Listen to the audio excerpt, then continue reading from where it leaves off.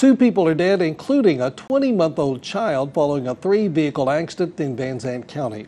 It happened just before 10 Friday evening.